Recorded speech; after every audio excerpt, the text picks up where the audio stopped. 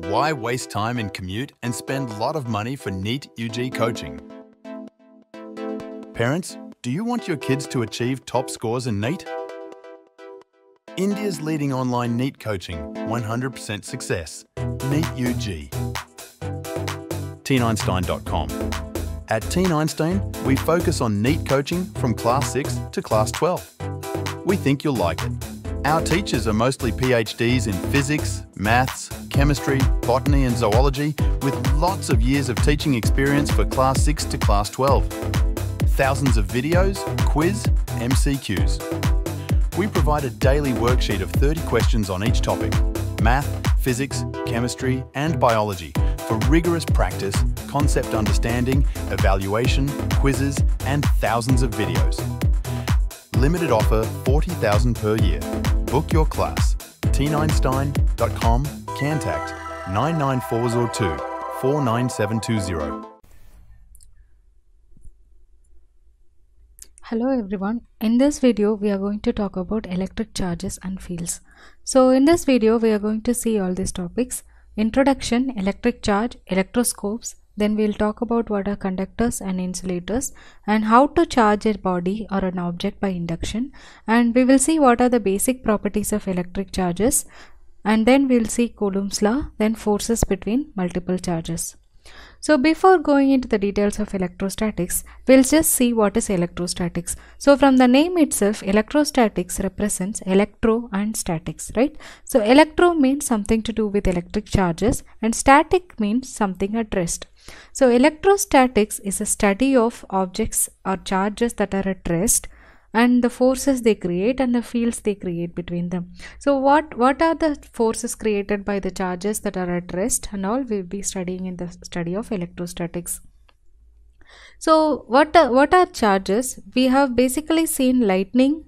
So lightning is a discharge and we have also seen spark or a crackle when we take off our synthetic clothes or sweater in a dry weather and we have experienced a sensation of an electric shock while opening the door of a car sometimes so these are all the things that happen due to electric discharge so then if there is an electric discharge we need to know what are charges right so, electrostatics is the study that deals with the study of forces, fields, and potentials arising from the static charges.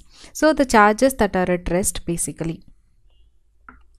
So, we will see what happens when we rub a glass rod with wool or silk and then we rub another glass rod and when they when we bring them together what happens they repel each other but if the wool or silk cloth which we use to rub on the glass rod if we bring them together, they also repel each other. But the glass rod and the wool cloth attracted each other. So there are things that repel each other and there are things that repel each other and attracted each other also. So there are only two types of an entity called the electric charge. So we can also call them the polarity of the charge. One is positive and another one is negative. So like charges repel each other and unlike charges attract each other. So this this is just illustrated here. There is a silk thread because it's an insulator and we have kept a glass rod here which is positively charged and when you bring another glass rod near to this they basically repel each other so this glass rod which is hanging here will move away from this Similarly, if you have a plastic rod here which is negatively charged and bring another plastic rod, this plastic rod will also move away from this because of repulsion. But if you bring a glass rod and a plastic rod which is negatively charged, they attract each other. So the same thing is explained here. When two negative charges are kept hanging, then they repel each other and similarly two positive charges repel each other and one positive and one negative charge they attract each other. So how do we know that if an object is charged or not? So charging basically happens when you rub a glass rod with a silk or wool cloth. What happens is charges get transferred from one, one object to the other object so that we know that the uh, object is charged. But you can't see the charges. So how do you know that an object is charged or not? So to know the charged object, we have an apparatus called an electroscope. So it's a simple apparatus which is used to detect the charge on a body and it, it is called a gold leaf electroscope. So the design has something like this. There is a gold leaf. There are two gold leaves here. So it is basically one gold foil a very light gold foil which is folded in this way and it is connected with a metallic or a conducting rod. It's a metal rod and there is a metal knob. And this is insulated this is rubber and it is kept inside a box glass box. So how do you use this electroscope? This is the structure of the electroscope. So basically if you're given an object and you want to know if that particular object is uh, charged electrically or not so what do we do is we bring this object in this case this is a glass rod. We bring this object near to this metal rod metal knob and touch this and see what happens. Since this is metal the electricity just passes through this. So the metal knob also becomes positively charged and it gives the charge to the rod. And so the positive charges again go here to the gold leaf. Now this gold leaf have two foldings so both of them get positively charged. So what happens when two uh, positively charged objects are nearby, they try to repel each other. So as soon as you touch this metal knob with the positively charged rod, then the gold leaf shows a deflection. It shows uh, movement. They go away from each other. So by this you know that the rod which you kept here is charged what would happen if the char uh, if the rod you kept here is not charged? Then you won't find any reflection here any deflection here. So then you will know that the rod is not charged. But there is one disadvantage to this. You can only know whether this is charged or not but there is no way to tell whether it is positively charged or negatively charged. So to do, do that you need another object with known charge to compare with it and check. But an electroscope is a simple apparatus, a basic apparatus which will help you to know whether an object is charged or not. Okay, so in the previous example, we saw an electroscope and we saw that we used metal knobs and metal rods. So why use metal? Why not rubber? Why not wood? Because we know that rubber does not conduct electricity wood does not conduct electricity. So in the previous case when we put charges here we want the charges to travel and come to the gold leaf. So we want the charges to move freely in a material. So conductors are one such material where the charges can move freely so a very good example is the copper wire and this is the reason why we are using copper wire in our home electrical connections because copper is a very good electrical conductor. So when I say very good electrical conductor what do I mean? When you put charges through the through this material the charges do not stay in one place they can freely move. So when I say freely move um, they will just move from one place to another without much disturbance. But there are other type of materials like wood plastic rubber glass and all. So these materials they do not conduct electricity. And that is the reason why we are using this wire, uh, copper wires coated by plastic to avoid um, avoid shock when we touch the wires. So in a household electrical connections if you see all the wires are uh, mostly copper and they will be coated by plastic so this is the reason because plastic is an insulator and uh, copper is a conductor. So substances which allow electricity to pass through them are called conductors. The examples are metals like copper, aluminium and uh, basically human bodies and animal bodies and earth is a very big conductor. Then substances which do not allow electricity to pass through them easily are called insulators. So the examples are glass, plastic, nylon and wood. Charges transferred to an insulator stays at the same place while charges transferred to a conductor get distributed within the material immediately. So again we will see the example of a glass rod. Uh, in one end if you rub it with a silk or wool cloth then it gets the positive charge. But if this is an insulator like glass the positive charge stays at one end. It does not get distributed throughout. But if it is a metal rod like a conductor then what happens? If you if you charge one side of the conductor then the charge gets distributed uniformly throughout the material mostly on the surface. We'll see why that is on the surface later. But this is what happens. You can't keep the charge in one end of a conductor because it can easily move through the conductor so it gets distributed everywhere. Okay so far we have been talking about charging an object by touching it by with another object. So when you touch uh, when you rub one object from other object then the charges get transferred from one object to another. This is called charging by contact. Is this the only way to charge an object? Is there any other way we can do it Yes, there are ways where you don't have to even touch the object but you can make it electrically charged. So we will see how to do that. So this method is called charging by induction. So charges can be transferred from one object to another without even touching it. So this is called charging by induction. So before that we already talked about like charges they repel each other and unlike charges they attract each other right. So what happens when you bring a charged object near a neutral object? Do they attract or do they repel? So the answer is a charged object always attracts the neutral object because the neutral object also has equal number of positive and negative charges.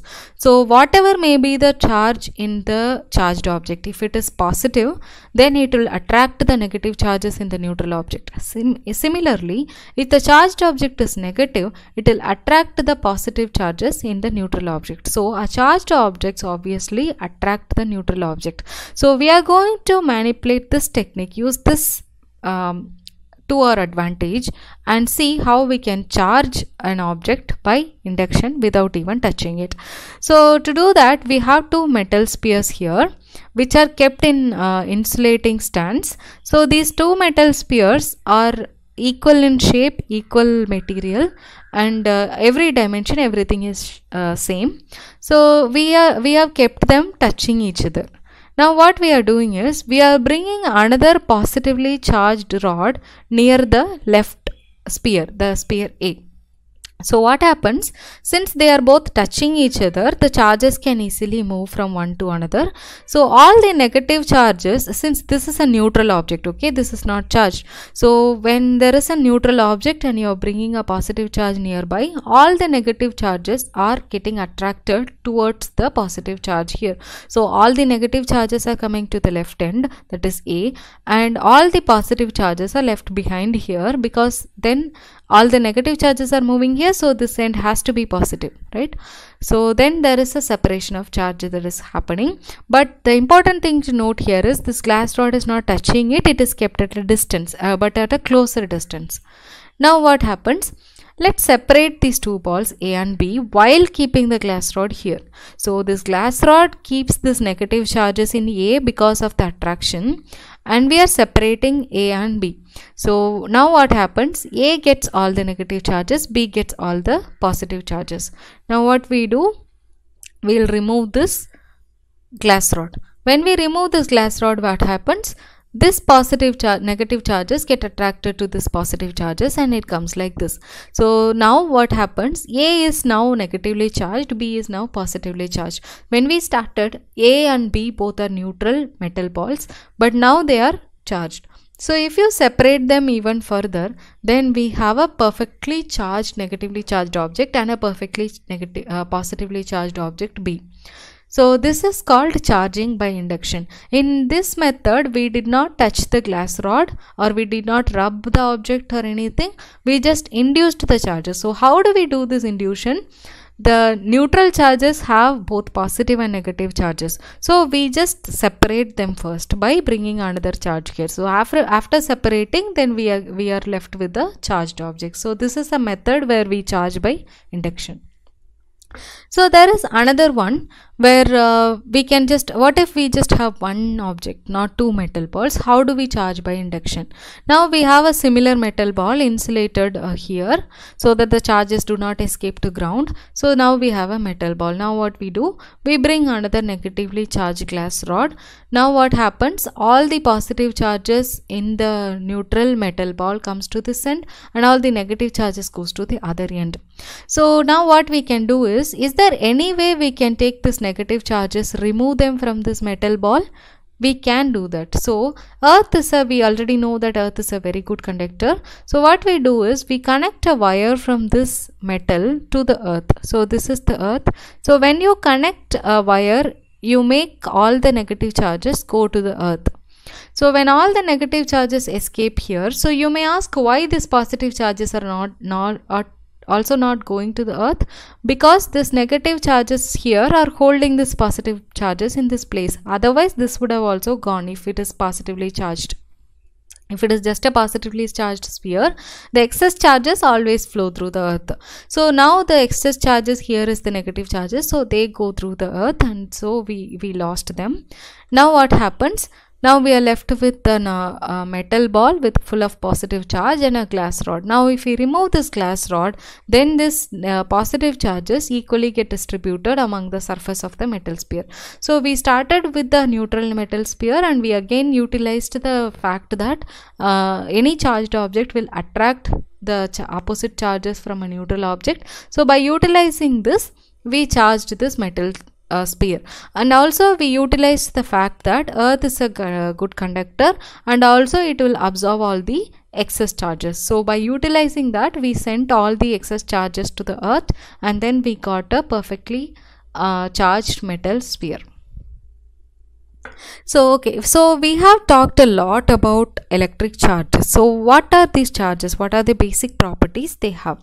So there are three basic properties one is additivity of charges. So what do I mean by additivity? If you have an object and you have more than two charges in the object, can we add the charges like we add numbers? Yes. So it's very simple. If you have two positive charges, you just add them. If you have negative charges, two negative charges, you just add them just like how you add the number system.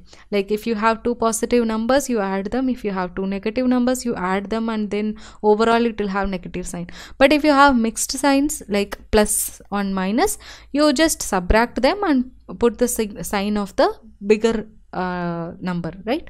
So the exact same addition we are going to do for charges. So charges have this property of adding like the numbers.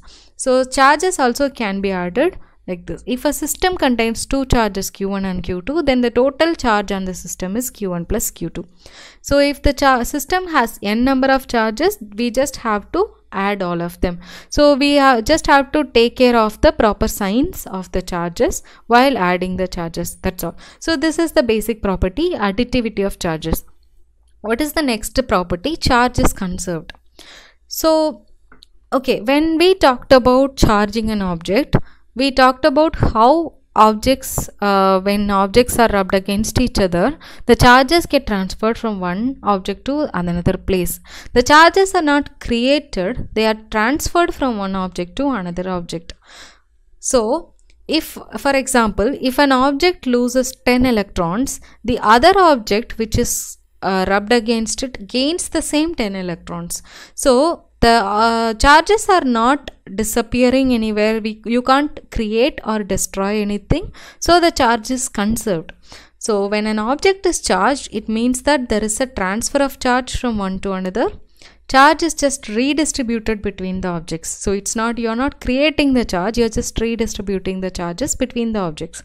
So charge is always conserved in an isolated system. So total charge in an isolated system is a constant. So for example if i have a system that has only two objects and both of them have let's say some positive charge both of them. And if I don't disturb this system it's an isolated system. The charges within the system have to be constant all the time. So I said there are two objects in the system. If one object loses some charge the other object has to gain the same amount of charge. So within a closed or isolated system the overall charges have to be conserved always. So this is the property called conservation of charges. So the next property and the last property which we are going to see is the quantization of charge. So what do we mean by quantization? See for example, imagine that 1 rupee is the basic unit of uh, currency. So if 1 rupee is the basic unit of currency, you can't buy something for 3.5 rupees, right? So the basic unit uh, the mul- integral multiple of basic unit only you can buy. So for example if 1 rupee is the basic unit you can buy something for 10 rupees or 11 rupees. You can't buy something for 10.5 rupees. So similarly the basic unit of electricity or electric charges here is e. E is the charge of an electron or a proton. So any charged object in the world you take that has to be integral multiple of this e so Q has to be N multiplied by E. Because if E is the basic unit of charge you cannot have like 0.5 of electron somewhere right? You can either have one electron you, you can either have one proton. You can't have like 0.5 electron. So it means that you cannot have n as a uh, point uh, decimal number you also always have to have n as an integer number so this is called quantization of charge. All the free charges are integral multiples of basic unit of charge E. So Q equal to N into E. E is the charge of an electron or a proton. The basic unit of charge is Coulomb C. The value of E is determined to be this much. So look at the basic unit of a charge. It is Coulomb. But in order to make 1 Coulomb, you need nearly 10 power 19 number of electrons because the charge of one electron is so small it is 1.602192 multiplied by 10 power minus 19 coulomb. So in order to create 1 coulomb of charge you need nearly 10 power 19 electrons.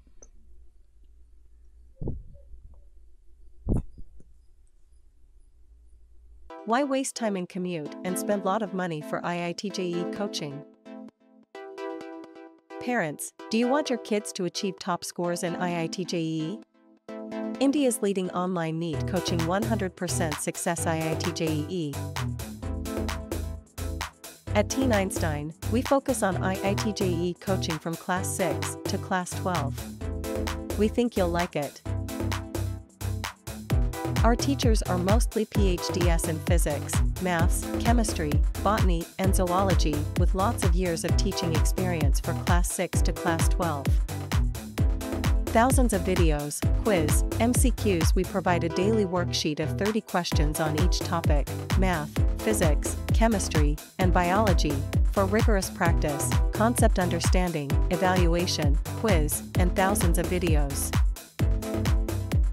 Limited offer 40,000 rupees per year. Book your class. teeneinstein.com